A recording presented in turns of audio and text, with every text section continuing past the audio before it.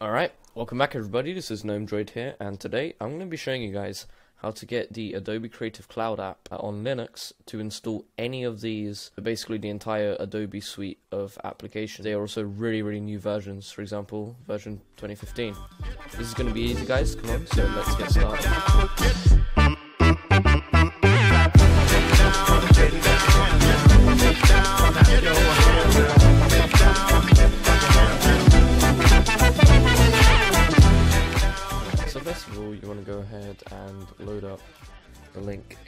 Description, which will be uh, a link to this developer who created this uh, install script for Play on Linux to have every single app available with the application manager.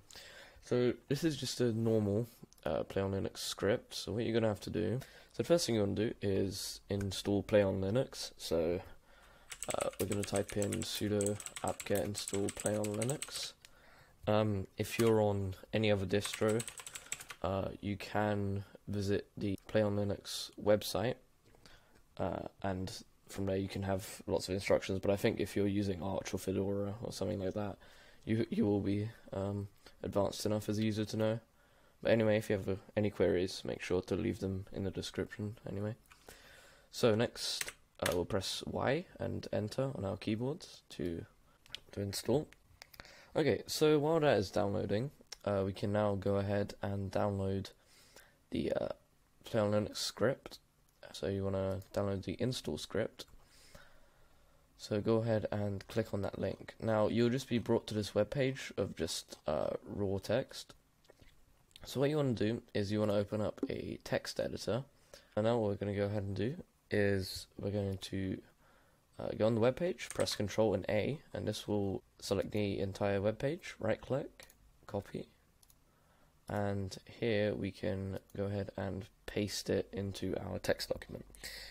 And what we're creating here is a so we're getting the script file, so we're gonna have to go to save it as, and because this is a script and not a text file, what we're going to do is we're going to, in the name field, we're going to call this Creative Cloud, uh, we'll name it whatever, but I'm going to call it that, and then make sure you put .sh at the end of it.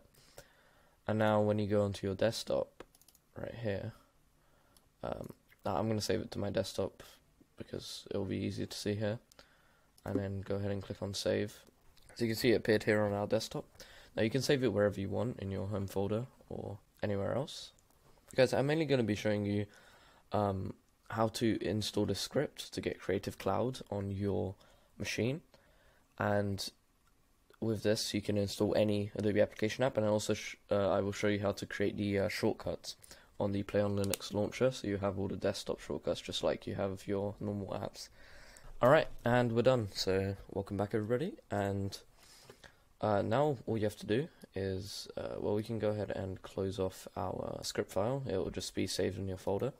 Now we can go ahead and launch up Play on Linux. Now, um, if you can't find it, you can go ahead and open up a terminal with Control Alt T, and uh, from that you can type in uh, just Play on Linux like this. Press Enter, and it will open it. But you should just find it in your normal app drawer.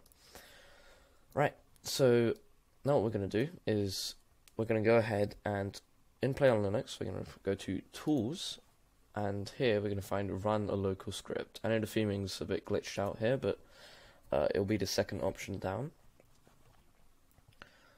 Now we can go ahead and click Next and now on the Browse page we're going to browse to where our script that we just downloaded is. So here it is, Creative Cloud go ahead and click on open and press next. Now here we will just go ahead and follow the script. Uh, because this is not an official script in Play on Linux, it's a custom one we just installed, it, this warning will come up, but don't worry, there's this is completely safe, there's no uh, problems. Go ahead and click I agree, this is actually the script on the inside.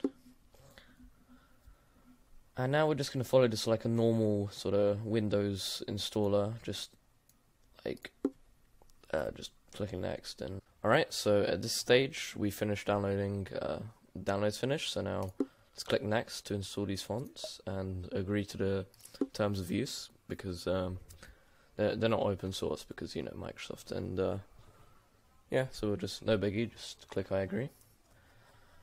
Uh, now we're going to continue uh, with the install process. So as it says here, we need you can either install Creative Cloud from Adobe's website, or you can let the installer do it for you. I just recommend you download the Creative Cloud installer because it will have the correct version, and this is always um, this is always really really important with Wine. Um, it's usually only a few versions that work. All right, so go to next. And yeah, uh, this process is really quick as long as you have a pretty decent internet connection. It's finished downloading now, and uh, now we have to have an Adobe account. That is important. Uh, you can go ahead and make one with this button right here. You probably already have one if you have like uh, Photoshop and stuff installed uh, that you already had on Windows. Our installer is now complete. What I'm going to go ahead and do is just finish off the installer with next. Now, if it won't close, uh, we can go into play on Linux here and uh, click on this, press configure, and go ahead and in Wine click on kill process. As you can see in your main window, now you have your link to the app. Go ahead and click on run to reopen uh, the application manager. Okay, so upon relaunching, guys, uh, if you see that the um, blue dots are constantly uh, spinning, then just wait a second. It's just uh, getting the app working, but it's okay. Just be patient and it will appear. Uh, here we'll go ahead and accept to the agreement and go ahead and make sure you're on the All tab uh, right at the start, up top here. And as you can see, guys, here we are. Here is everything, um, every single Adobe app that you can go ahead and install. So I'm going to click on Try for Illustrator, and as you can see, uh, the download will begin. As you can see, it's downloaded, and now it's extracting the installer. Download took around like 30 minutes for me, but I have really slow internet, so uh, it's around a gigabyte, I think.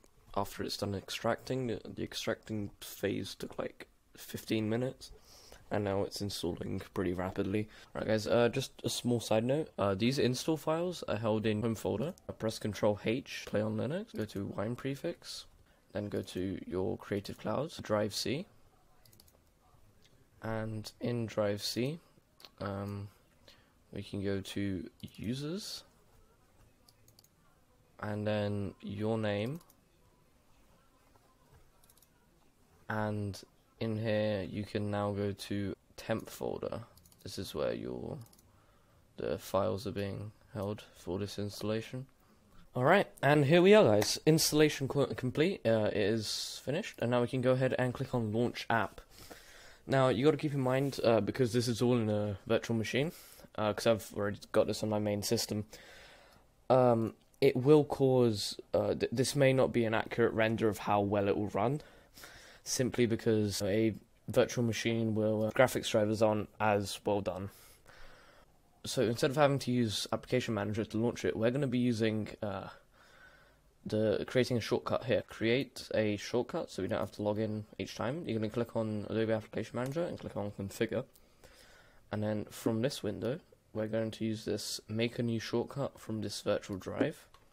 So it's finished scanning the virtual drive and here you have a lot of exes and the one you want to find will be illustrator.exe so um basically uh, if you want let's say you're installing Adobe Photoshop you'll be looking for photoshop.exe and uh, vice versa. So you want to search for whatever the name of whichever Adobe app you just installed you want to install that exe and select that exe here in this list. Um, Yep, and then call this something. I'm just going to name it Adobe Illustrator. As you guys can see uh, when we click, you can then click cancel because that'll just scan for another file.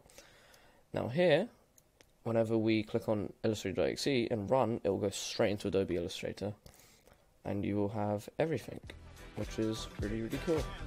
There we are, and this, this is really just absolutely amazing. enviar uma força.